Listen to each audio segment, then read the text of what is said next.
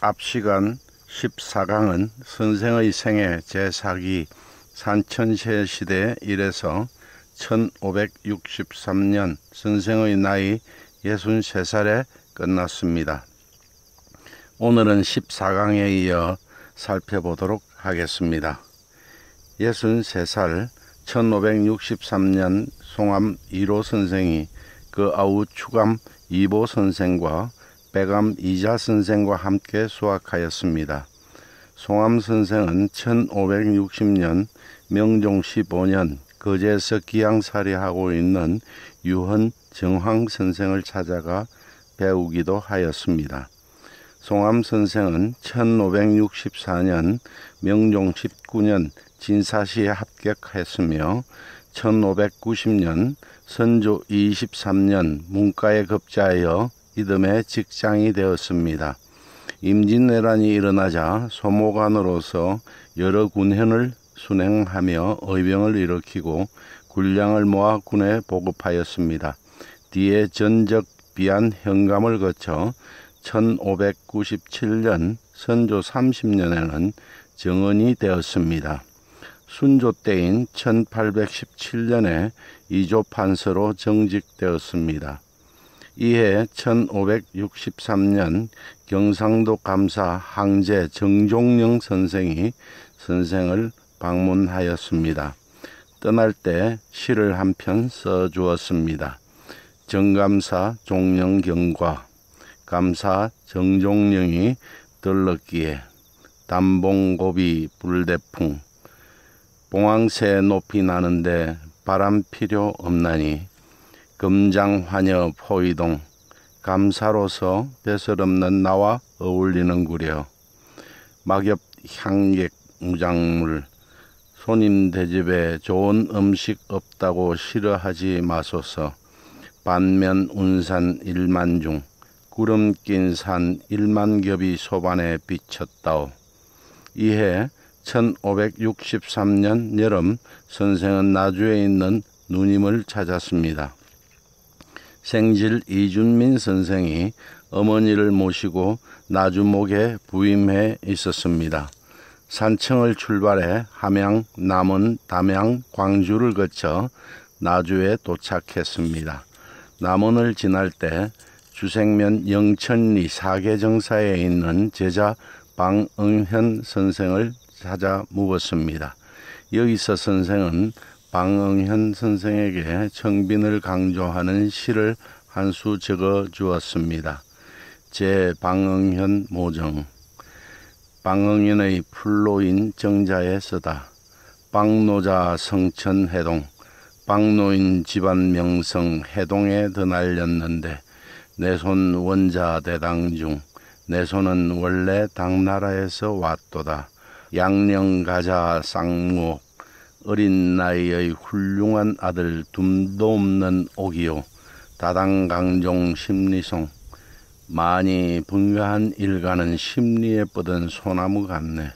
운소일천 청해에 하늘에 구름이 싹거치자 파란빛이 짙고 풍요천수 백릉릉 바람에 흔들리는 청거루 나무는 싱싱하게 푸르네 망념 의백 장교체 헌옷 입고 늘 나물 먹는다고 싫어하지 말게나 만면 두류 식불궁 소반에 비친 두류산 먹어도 다함 없다네.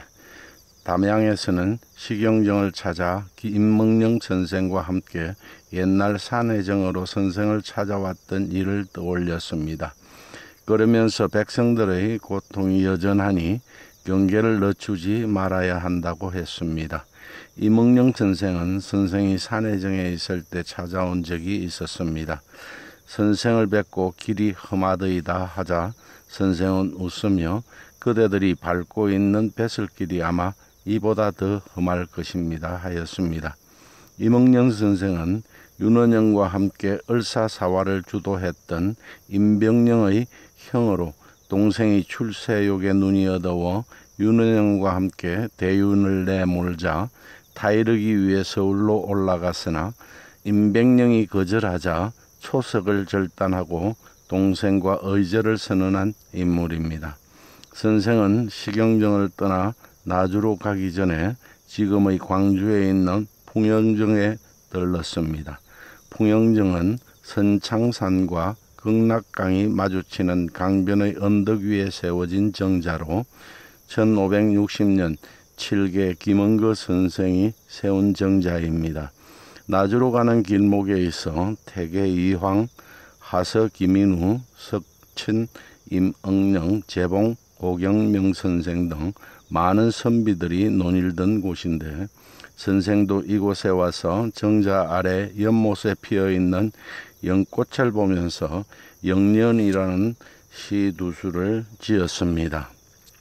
영년, 연꽃을 얽다. 화계정정 치만당. 꽃봉오리 널씬하고 푸른 잎 연못에 가득한데 덕형수여 자생향 덕스런 향기 누가 이처럼 피어나게 했는가 청간묵묵 언이제 보게나 아무 말 없이 뻘 속에 있을지라도 부시교화 향일광 해바라기 해 따라 빛나는 정도만은 아니라네. 다시 한수를 지었습니다. 우 다시 한수 지혜북어 유화풍 다만년꽃이 유화에 기풍 있는 게 사랑스러워 원이 환지 우왕중 손으로 당겨보았더니 그대로 연못 속에 있네. 응혐 고죽 방위에 고죽군이 편협하여 응당 싫어하겠지. 원파 정향 도노옹 맑은 향기 멀리 퍼뜨려 이 늙은이에게까지도 이르네. 예순 네 살의 젊은 나이에 친하게 지냈던 청송 성수침 선생이 세상을 떠났다는 소식을 들었습니다. 이듬해 성수침 선생의 죽음에 대하여 청송 선생의 종제 대곡 성운 선생에게 편지를 보내 죽기 전에 한번 보고 싶었던 간절한 마음을 토로하였습니다. 이에 1564년 7월 제자들과 삼장사에 갔습니다. 삼장사는 산청 삼장면에 있었는데 지금은 삼장사지에 삼청 석탑만 남아 있습니다. 뜻계 옥은 선생도 편지로 불렀습니다. 각제 하항 유사명 선생도 자리를 함께 했습니다. 덕계 선생은 편지를 받고 일기에 화면에 나오는 글과 같이 썼습니다. 7월에 성산에서 집으로 돌아오니 선생이 성녀에게 편지를 붙여 삼장사로 오라고 하셨다.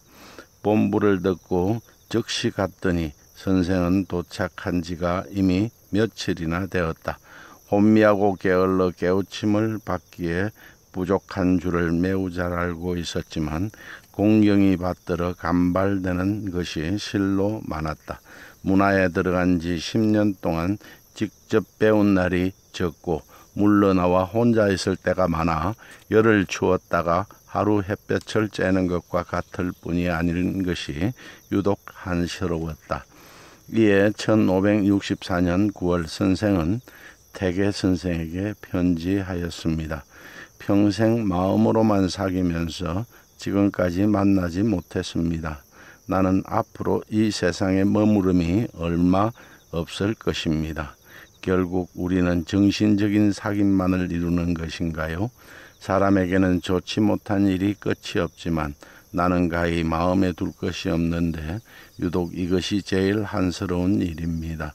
선생께서 한번 의춘해 오시면 마땅히 쌓일 것을 풀 날이 있을 것으로 매번 생각하였는데 지금까지 그러하지 못했습니다. 또 이 또한 하늘의 처분에 모두 맡겨야겠습니다. 요즘 공부하는 자들을 봅니다. 손으로 물 뿌리고 빚이라는 절도도 모르면서 입으로 천리를 담론합니다. 헛된 이름이나 훔치고자 꾀하여 남들을 속이는 데 씁니다. 그러나 도리어 남에게서 상처를 입고 그 피해가 다른 사람에게까지 미칩니다. 아마 선생 같은 장로께서 꾸짖어 그만두게 하지 않기 때문일 것입니다. 저와 같은 사람은 마음에 보존한 것이 황폐하여 배우러 찾아오는 사람이 드뭅니다. 선생 같은 분은 몸소 상등의 경지에 도달하였습니다. 그리하여 우르르 따르는 사람이 많으니 10분 억제하고 타이르심이 어떻겠습니까? 삼가 헤아려 주시기 바랍니다. 이만 줄입니다. 갑자년 9월 18일 못난 동갑내기 건중 드림 65살 때인 1565년 명종 20년 4월에 성렬 대비가 죽었습니다. 윤원영이 관직에서 쫓겨났습니다. 이에 수당 최영경 선생이 와서 수학하였습니다. 수당 선생은 유일로 여러 번 물음을 받아 지평에 이르렀으나 모두 나가지 않았습니다.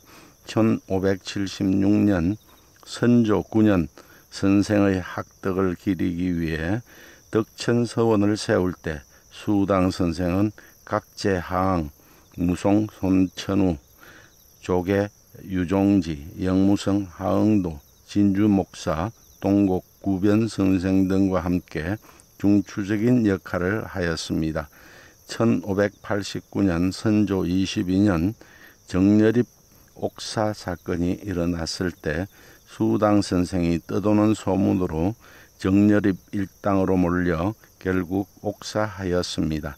3년 뒤 대사헌 홍여순 선생의 건의로 그 원통함을 풀고 대사원으로 추정되었습니다.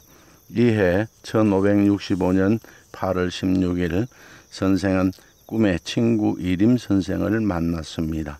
정겨운 이야기가 다 끝나기도 전에 이림 선생이 일어나 가버렸습니다. 선생이 그의 소매를 잡고 짧은 절구를 엎어주고서 작별하였습니다. 꿈에 깨어난 뒤 더욱 괴로운 마음으로 지난 일을 회상하였습니다. 선생은 이 꿈을 꾸고 나서 하천서 선생을 만나 짧은 서문과 함께 시를 써 주었습니다. 기몽정하군 꿈을 적어 하군에게 줌 병소서 짧은 서문도 아울렀어. 얼충년 8월 16일 꿈에 대사관 이중망을 나무 아래에서 만났다. 정겨운 이야기도 다 끝나기 전에 이군이 일어나 가버렸다. 내가 그의 소매를 잡고 짧은 절구를 엎어주고서 작별했다. 꿈에서 깨어 더욱 괴로운 마음으로 지난 일을 회상하였다. 이제 다행히 하공을 만나니 어제 꿈에 이군을 만난 것은 바로 오늘 하공을 만날 징조였다. 더욱이 정령이 아직 없어지지 않은 것에 대해 울면서 탄식하였다. 하공은 곧 대사관의 외손자이자 나의 질서다. 나를 좋아해 항상 제 스스로 찾아왔고 나도 이군과의 연고와 혼인 관계의 정의 때문에 마음이 무척 걸렸다. 그리하여 꿈의 한 말을 적어 그에게 주고 또 꿈속에서 지은 시를 주었다. 대사관의 이름은 림인데 을사년에 화를 입었다. 하의 이름은 천서인데 이공량의 사위이다. 수하여 군별 나무 아래서 그대와 이별했는데 차이 수사지 누가 이내 마음 같았는지 회심 유미사 속은 탔지만 아직 죽지 않아 지유 반변피 반쪽 껍질만 남아 있다네. 이에 1565년 9월 선생은 매촌 정복현, 덕계 옥은 양성은 도일영 선생을 지곡사에서 만났습니다. 이들과 며칠을 함께 지냈습니다. 덕계 선생은 일기에 화면에 보이는 것과 같이 적었습니다. 아침을 드시고 선생께서 덕산으로 돌아가셨다. 다리 근처까지 가서 송별하면서 전별주석 잔을 마셨다. 마치 가인과 이별하듯 우두커니 서서 눈물을 흘렸다. 선생께서는 내가 머뭇머뭇 하는 걸 보시고는 말에서 내려 돌아보셨는데 말로는 다 표현할 수 없는 생각이 있으신 듯 하였다. 이에 1565년 겨울에 성함 김효원 선생이 남명 선생을 찾아와 수학하였습니다. 이때 성함 선생의 나이가 스물넷이었습니다. 스무 살에 사마시에 합격하고 이듬해 알성문과에 장원급제하여 성균관 전적이 되었습니다. 26살에는 사은사 윤옥 선생의 서장관으로 중국에 다녀와 이조와 병조의 자랑을 지냈습니다. 스물일곱이 되던 선조 적인년에 사관한 정원, 서른한 살에 사음부 지평, 서른세 살에 이조 정랑으로 문과의 참시관이 되었습니다. 서른네 살에는 부교리를 거쳐 헌납 지평 장령을 지냈습니다. 외직은 불영부사, 삼척부사로 있었습니다. 이때 부친상을 당하여 삼척부사를 사임했습니다. 부친상을 마친 뒤 마흔 살에 의사가 되어 호서를 순환하고 가을에 성문 판교가 되었습니다. 마흔두 살에 단기 사정이 되었다가 7월에 다시 외직으로 나가 항해도 안악군수가 되었습니다. 마흔일곱에 통례원 우통례가 되었고 마흔여덟 살에 영흥부사가 되어 나갔다가 1590년 선조 23년 49살의 나이로 세상을 떠났습니다. 태계 선생의 문화에서도 수학하였습니다. 선생이 특별히 아끼는 제자였습니다. 오늘은 여기까지 하겠습니다. 다음 시간에는 여기에 이어서 선생의 생애 제4기 산천제 시대 3을 살펴보겠습니다.